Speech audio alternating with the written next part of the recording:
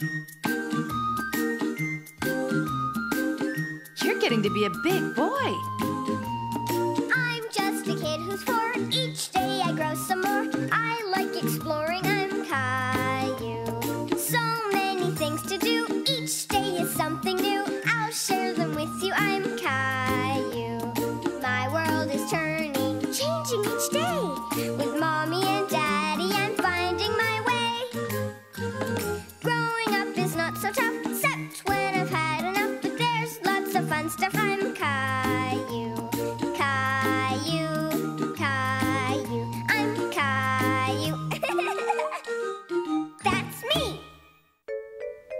Oh, you're going to like this story.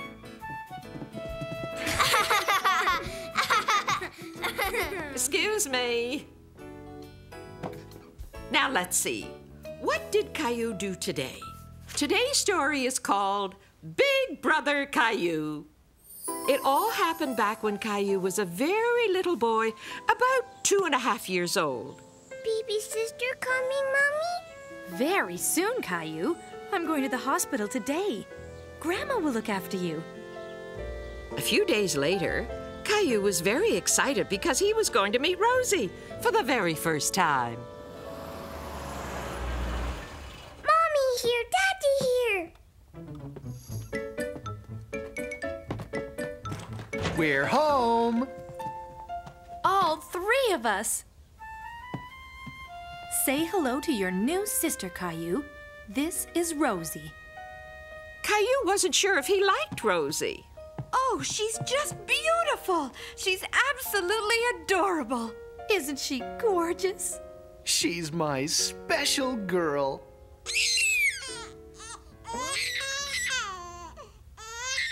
Rosie wasn't very happy, and neither was Caillou. Nobody was paying attention to him. He thought they only cared about Rosie. Caillou was so unhappy, he didn't even like his doll anymore.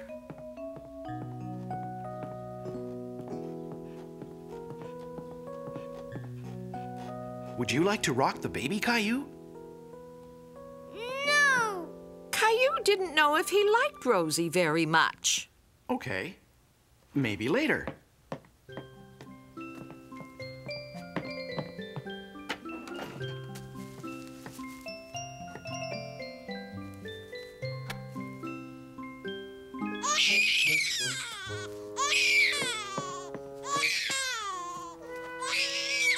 Caillou's daddy wasn't happy to see him pinching Rosie. Caillou, why did you do that to Rosie? I don't like Rosie. Why not? Rosie doesn't play with me. But she's only a baby. She's just too little to play with you now. It's not easy being a big brother, is it? But now that you are a big brother, you can protect Rosie since she's so small. Say, would you like to help me? I can't do this by myself. Caillou, would you pass me the diaper, please?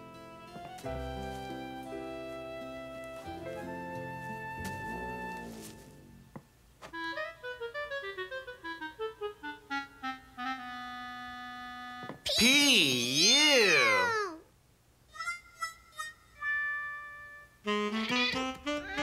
So, you've been feeling a bit left out of things too, have you, Gilbert?